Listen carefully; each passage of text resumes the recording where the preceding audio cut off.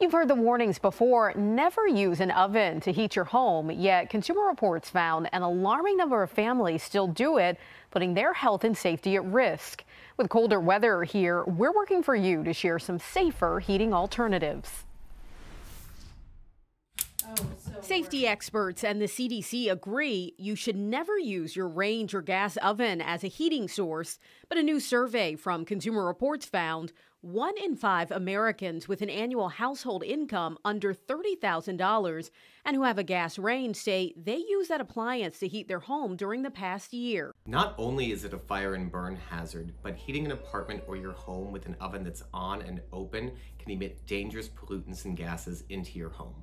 The CDC has long warned to never use a gas range or oven for heating because it can cause a buildup of carbon monoxide inside your home. In addition to carbon monoxide risks, CR recently conducted a series of emissions tests on gas ranges and found nitrogen oxides at levels that exceeded indoor air quality criteria, particularly when the burner setting was on high and there was no ventilation. These gases can worsen asthma and lung diseases and increase the risk of asthma in young children. So, what should you do on those cold days when you need extra heat to keep warm?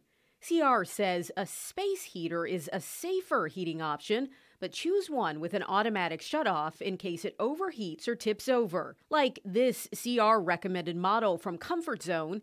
It's also important to always turn off and unplug a space heater when you leave a room and never leave it on while you're sleeping.